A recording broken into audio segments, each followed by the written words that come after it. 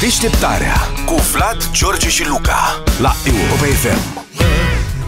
Lumea asta în care totul se cercetează, se statistichează și se aranjează, există și niște studii care stabilesc care este culoarea preferată când cumperi o mașină second-hand în România. Deci există cercetătorii români.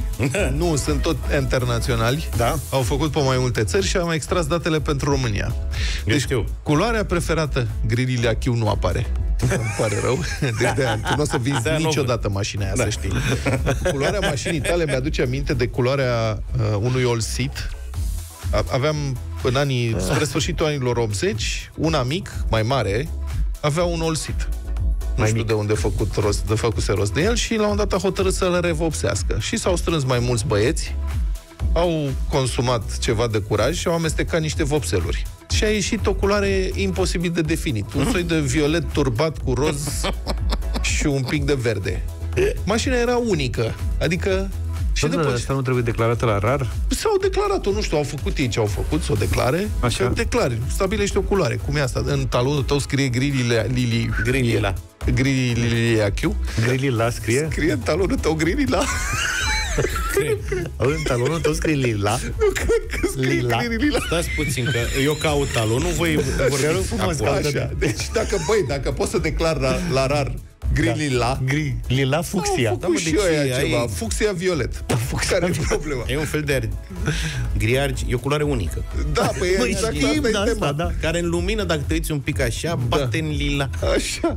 Ce scrie mă în talon? Nu știu, ai răbdare. Asta te rog, Și da. colegii și-au făcut mașina asta și după ce au uscat-o, nu știu ce, erau foarte încântați și după aia s-au prins, mă, prima dată când o zgăriem, trebuie să revopsim toată mașina. Că Ce nu mai avem facem? nicio șansă să mai nimerim nuanța de vopsea pe care am făcut. Logic. Da.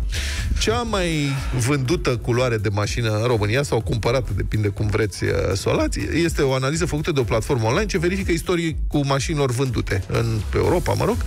Deci este galbenul. De la taxiuri mă Da, bă, găsesc. frate. Media duratei de vânzare sub 3 săptămăni. Deci, practic, este vorba de piața second-hand a taxiurilor. Da, și, via- și viața după Nu e vânzare adevărat. sub, sub două săptămâni. Uh, Nu e adevărat. Da, vă rog. Taximetriștii colantează mașinile, nu le cumpără galbene. Galben cumpără numai nu știu cine. Adică eu cred că e... Adică toate mașinile astea care umblă prin Da, București sunt și sunt, colantate. galbene, sunt colantate? Da, da, dar nu are importanță că statistica nu vorbește de faptul că ar fi vopsite sau colantate. Păi, în primul vorbește doar de culoare, În galben. primul rând, pentru că Loganul nu există galben din fabrică. Adică nu cred să existe. 99% nu există. Da. Dacă știți să existe Logan la- galben din fabrică, vă rugăm să ne scrieți la 07283132. Așa. De eu știu că nu e.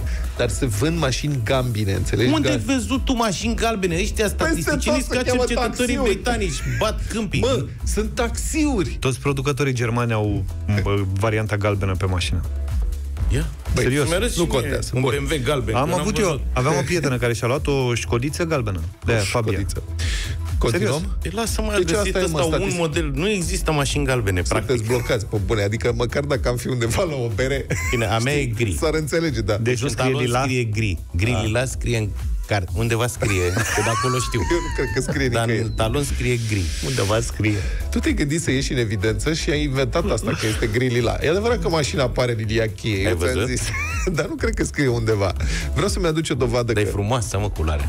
Acum s-a mai atenuat că are 13 ani. locul S-a 2 mântuit. este ocupat de argintiu. Am avut și o mașină argintie, faci mare economii la spălare. Așa e, pe mare a mea economii. grilila e argintie, practic. Locul 3 este ocupat de negru. Mașinile negre au o medie de 22,9 23 de zile de așteptare la vânzare medie și culoarea care se vinde cel mai greu este, țineți-vă bine, bejul. Bejul Există la la. mașini- Bej. Bejul lila și Bejul. bejul la la. Ultima De acord. mașină bej pe care o știu e Mercedes de la Taxi pe roții Exact. în anii 90. Da. N-am mai văzut de atât. Și Exact. mai erau niște mozbiciuri bej. Da. În me- Eu cred că e foarte vechi studiul ăsta al tău sau ceva e în neregulă cu el, că nici mașini galbene nu Eu te cunosc, rog să nici nu mă bej nu acuzi pe există. mine că vin cu știri vechi. Și Te rog negru să pe te culoare- documentezi. Negru pe locul 3 în România, adică Da. știu că a mai scăzut apetența românilor pentru mașini negre, dar în halul ăsta. Ba nu, pe locul 3. Nu Și sunt albul diferențe. ar trebui să fie, că albul e la mod acum, nu mai e? Nu, albul este praf. Albul este în România, e nenorocire. Greu de vândut sunt mașinile albe și verzi.